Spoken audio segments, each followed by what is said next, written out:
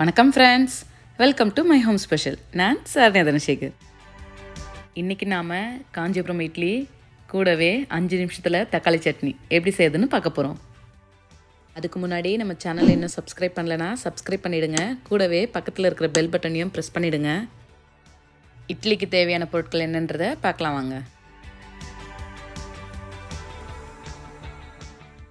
நான் இன்றைக்கி இட்லிக்கு பச்சரிசி இட்லி அரிசி உளுந்து இதெல்லாம் ஒரு கப் வெந்தயம் ஒரு டேபிள் ஸ்பூன் சேர்த்து அஞ்சு மணி நேரம் ஊற வச்சு கொர கொரன்னு அரைச்சி மாவு புளிக்க வச்சுருக்கேன். மாவில் ஒரு ஸ்பூன் சுக்குப்பொடி தேவையான அளவு உப்பு இது ரெண்டுத்தையும் கலந்து அப்படியே அஞ்சு நிமிஷம் வச்சுருங்க.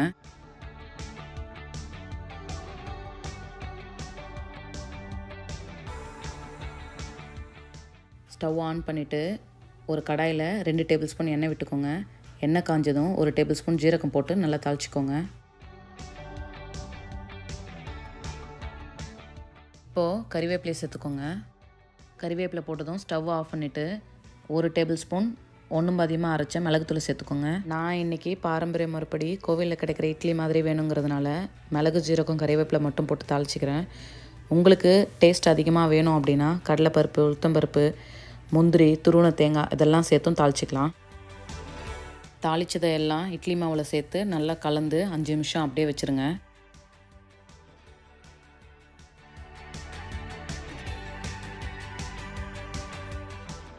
மறுபடியும் ஸ்டவ்வை ஆன் பண்ணிவிட்டு இட்லி பாத்திரத்தில் தண்ணியை ஊற்றி நல்லா கொதிக்க விடுங்க.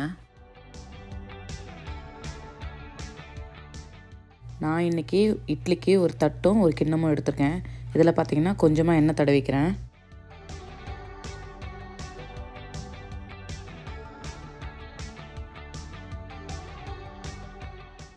இதை நீங்கள் டம்ளரில் கூட ஊற்றிக்கலாம் எந்த கிண்ணத்தில் ஊற்றுறீங்களோ அதில் நீங்கள் பாதி அளவு மட்டும் ஊற்றிக்கோங்க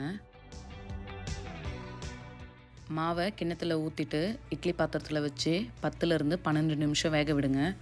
நீங்கள் பெரிய கிண்ணம் அப்படி இல்லைன்னா டம்ளரில் ஊற்றுறீங்க அப்படின்னா டைம் கொஞ்சம் கூட எடுக்கும். எனக்கு இட்லி வேக சரியாக பத்து நிமிஷம் எடுத்துக்கிச்சு.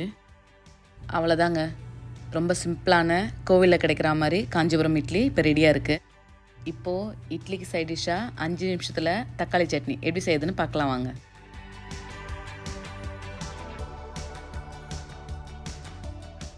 ஃபஸ்ட்டு சட்னிக்கு ஒரு மிக்சி ஜாரில் ரெண்டு பெரிய தக்காளி மூணு பச்சை மிளகாய் கால் டேபிள் ஸ்பூன் மஞ்சத்தூள் தேவையான அளவு உப்பு. இதெல்லாம் சேர்த்து நல்லா பேஸ்ட்டாக அரைச்சி வச்சுக்கோங்க. ஸ்டவ் ஆன் பண்ணிவிட்டு ஒரு கடாயில் ரெண்டு டேபிள் ஸ்பூன் எண்ணெய் விட்டுக்கோங்க.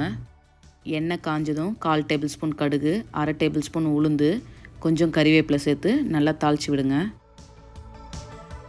இப்போது மிக்சியில் அரைச்ச தக்காளியை சேர்த்து நல்லா பச்சை வாசனை போகிற அளவுக்கு வதக்கி விடுங்க.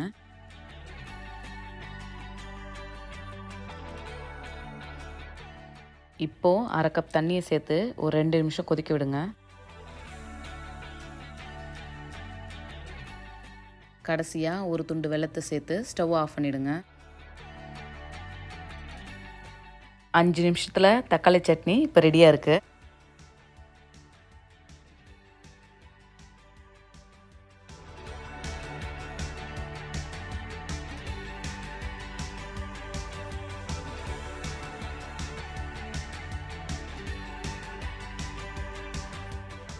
இந்த ரெசிபி உங்களுக்கு பிடிச்சிருந்ததுன்னா மறக்காமல் லைக் பண்ணுங்கள் ஷேர் பண்ணுங்கள் சப்ஸ்கிரைப் பண்ண மறந்துடாதீங்க.